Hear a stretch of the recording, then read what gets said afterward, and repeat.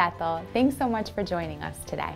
If it's your first time with us, don't forget to pick up a welcome bag from the welcome table in the foyer before you leave. You should have had a connection card on your seat when you sat down. Feel free to start filling these out with as much information as you're comfortable sharing with us. These will be collected with the offering. Enjoy today's service. Hi Bethel, I want to tell you about an exciting youth event that we have coming up. It's our Winter Youth Retreat. It's going to be February 28th through March 2nd. It's a weekend of connecting with God and connecting with each other. I'd encourage you to come if you're a student or if you have a student, try to get them to come out and please see me right after service to get more information.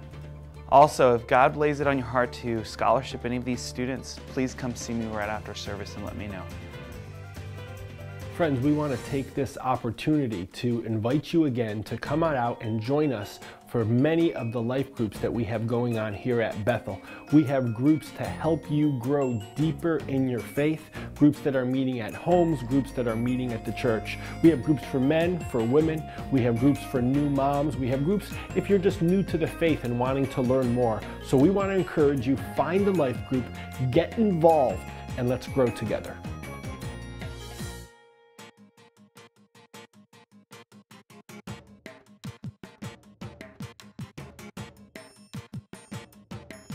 I want to tell you about our silent dinner auction. This is a youth fundraiser that will be going on throughout the month of February.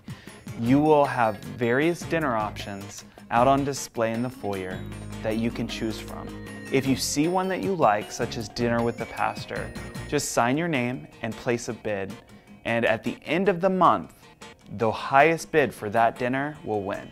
This is a great way to connect with each other and also to help support your youth at Bethel. Hi Bethel, I'd like to invite you to our annual business meeting on Sunday, March 2nd at 6.30 p.m. Everyone is welcome and our members are strongly encouraged to attend. This is a great time to learn what's going on here at Bethel and what's coming up in the next year. We hope to see you there.